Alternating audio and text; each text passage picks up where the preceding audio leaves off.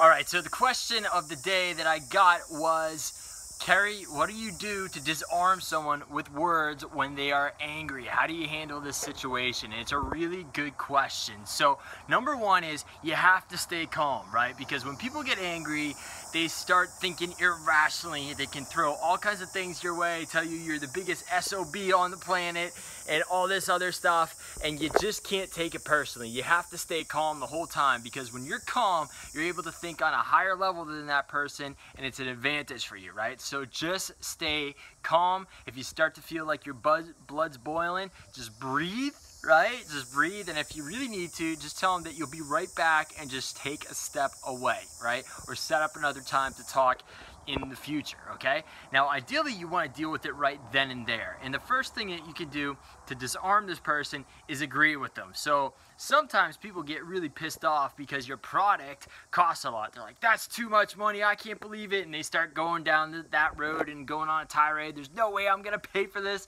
this, that, and the other thing. And what you want to do is when it's appropriate, try to agree with them, right? So in this case, you can agree with them easily. Say, hey, I agree with you. It is a lot of money.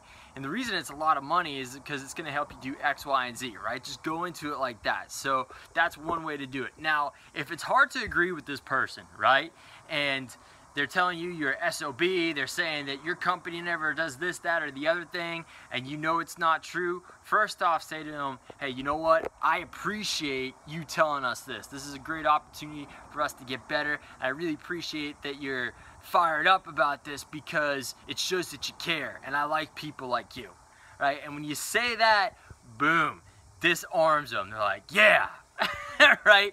They're all excited about it and, and, everything. So then when you do that, you can start to talk with them. And the best thing to do is just start to ask them questions, right? So if they start making all kinds of accusations saying that you're an SOB or your company never delivers on this or this never happens or that never happens or whatever it may be, say, you know, hey, I appreciate you being passionate about this. I like that you care. Can you give me an example of how we never deliver on this or whatever it may be and just really figure things out. Now, a lot of the time when you ask people to give examples of what they're talking about when they're really fired up, they can't do it. And their argument starts to fall apart, right? And then you can start to ask them questions and then just keep pumping them up, right? Saying, hey, I really appreciate you and everything like that. And then it starts to disarm them and then you can start to figure out a proper solution, right? So those are the two different ways that you can disarm people, right? So it's kind of a three-step process. Is number one, you got to stay calm, right? Because if you lose your cool too, it's to just blow up in both your faces and no one's to be happy.